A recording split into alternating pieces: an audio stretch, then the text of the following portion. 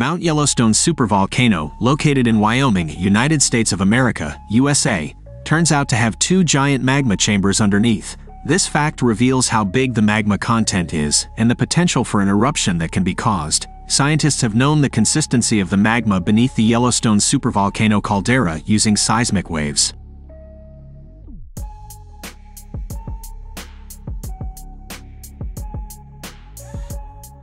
They also know a reservoir full of pulp magma is not expected to pose a threat of an imminent eruption.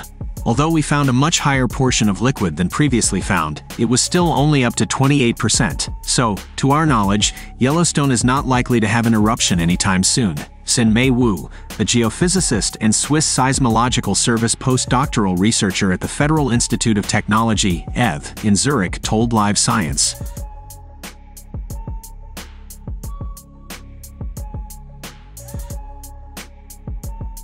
From this study it is known that the magma reservoir under the Yellowstone volcano consists of two chambers.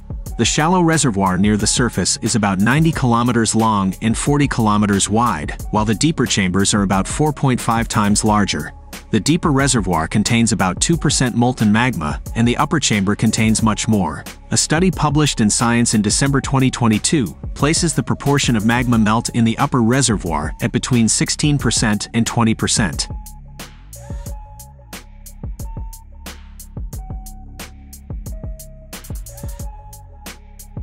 The team used seismic wave data to assess the texture and composition of the upper magma reservoir, which is about 5 kilometers deep beneath the Yellowstone supervolcano. The results of the study, published June 8 in the journal Earth and Planetary Science Letters, show the upper chamber is composed of 28% melt.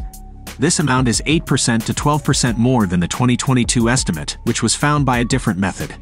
Far from being a fine mixture of molten rock, Magma reservoirs contain large amounts of solid rock, semi-liquid crystals, gases, and other volatile substances, said Sin-Mei Wu.